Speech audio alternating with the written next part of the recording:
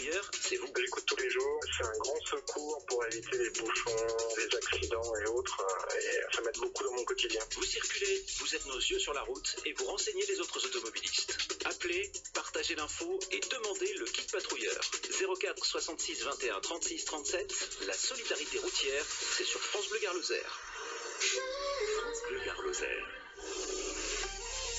La route, justement, ce mardi matin, on l'a fait à vos côtés. Petit coup d'œil comme ça à la carte de la circulation. J'aime bien vous le dire, hein, tout est fluide, tout est vert, que ce soit en ville ou sur les autoroutes. Aucune euh, difficulté, hein, l'effet vacances de, Noël, de, Noël d'hiver qui se poursuit. Euh, pas de difficulté à vous euh, signaler sur les autoroutes A9, A7, A75 euh, et A54. Voilà que je n'en oublie aucune. Mais bien évidemment, hein, euh, s'il se passe quelque chose, notamment sur le réseau secondaire, vous êtes nos yeux. On fait la route ensemble. 04 66 21 36 37 ce matin. Vous appelez à la radio. C'est Colline qui répond à ce numéro de téléphone 04 66 21 36 37. hein. On est bien ensemble. France Bleu Gare numéro 1 sur l'info, il est 9h. Jérôme Plédy, saisie record il y a quelques jours sur l'autoroute A9. Effectivement, une saisie record de drogue. Les de Nîmes ont intercepté un camion allemand à la hauteur de Montpellier. À son bord, 184 kilos de résine de cannabis.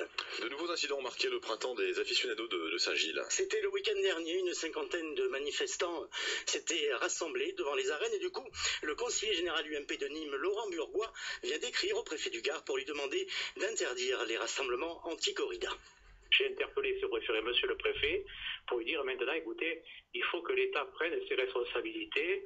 Euh, la corrida est légale en France, elle a été reconnue encore récemment par le Conseil constitutionnel, à l'État de faire respecter et cela et d'interdire ces types de manifestations, qu'on nous laisse, les aficionados, librement, aller aux arènes et vivre notre passion. Je demande qu'il n'y ait aucun gendarme, aucune barrière, mais que le préfet interdise ces manifestations parce qu'elles trouvent l'ordre public. Comme je dis dans mon courrier au préfet, liberté, égalité, fraternité pour les aficionados. C'est nous qui sommes embêtés.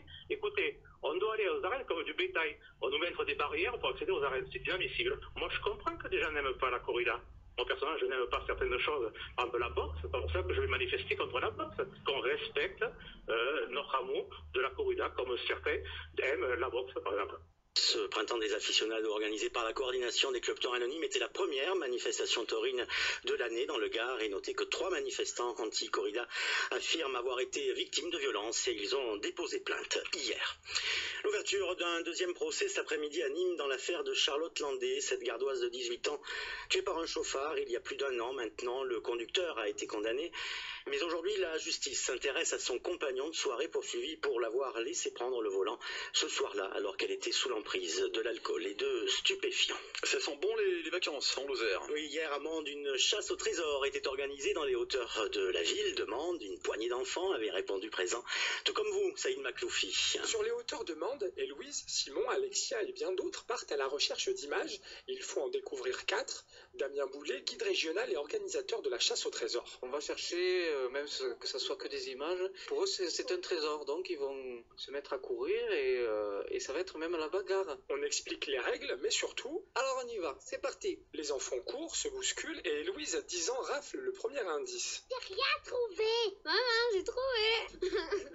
j'ai trouvé un autre indice. Elle a trouvé deux fois. La chasse au trésor continue. Peut-être c'est sur la neige. J'ai trouvé un objet. Non, non, non. On trouve, on nargue, mais l'objectif est ailleurs, comme le rappelle Damien Boulet. L'objectif, euh, c'est d'allier une visite euh, ludique pour les enfants, d'essayer de les intéresser un petit peu à- au patrimoine, euh, de revisiter un peu le- leur ville ou leur, leur environnement tel qu'ils le connaissent pas forcément. Il fallait retrouver quatre images qui, rassemblées, forment. Le château de, de Baours, Et qui a gagné C'est moi qui ai gagné. Héloïse remporte un livre sur la bête du Gévaudan. Saïd Makloufi de France Bleu Gard-Lozère, amende. 22 viticulteurs gardois ont traversé l'Atlantique et sont à New York euh, aujourd'hui pour un grand marché au vin. L'objectif pour les domaines, euh, c'est de s'implanter sur le marché américain, mais aussi canadien.